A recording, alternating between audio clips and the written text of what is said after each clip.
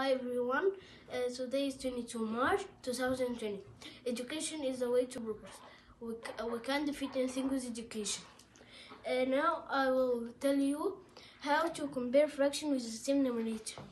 If we have the same numerator, we look at the numerator. If the numerator is bigger, it will be less than the other fraction. Uh, for example, uh, 4 and 4, uh, 4 over 6 and 4 over 3. 4 and 4 is uh, equal numerator. Uh, 6 is bigger than 3.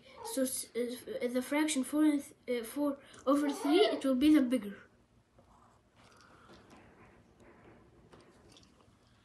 Another example, uh, 1 and 1 is the same numerator.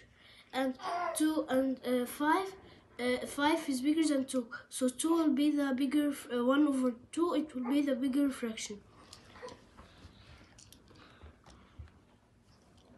Uh, 3 over 4 and 3 over 6. Uh, 3, uh, uh, 3 and 3 is equal numerator.